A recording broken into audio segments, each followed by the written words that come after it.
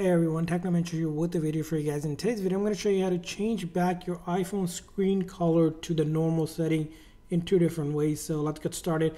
Now this is iOS 18 update where you can actually change the color on the iPhone screen tint to something different. So if you're looking to change the color of this, this is what you're going to do. Pick any app, doesn't matter. You're going to simply press and hold that app to get to the option that says edit home screen. Again, doesn't matter whatever app you pick, you simply press and hold and then click on edit home screen. Now, once you do that, it's going to start wiggling around. Doesn't matter. You're going to see there's an edit button on the left hand corner. You're going to click on it and then click on customize right here. And once you get to here, you're going to see a menu like this pop up and you're going to simply choose a light mode and as you can see here the screen color has changed back to normal. And if you want if you had it a large you can also make it small here as well. And if you had it dark or light you can adjust it accordingly to get to back to the normal setting.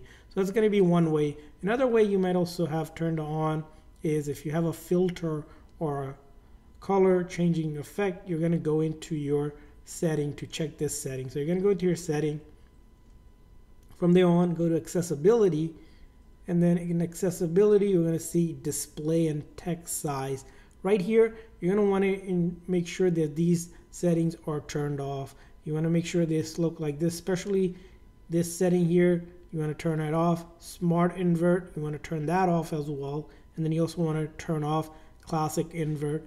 And then also this color filter. If you set one of these color filter accidentally in the past, as you can see here, it can make your color screen different. So we're going to turn that off completely. So turn that off, turn the setting off, and your iPhone screen should be back to normal setting, just like how you originally got it. So that's how you do it. I hope this video was helpful. If so, please consider a like and subscribe button for more tips and tricks for your iPhone and other iOS devices. We'll see you guys next time.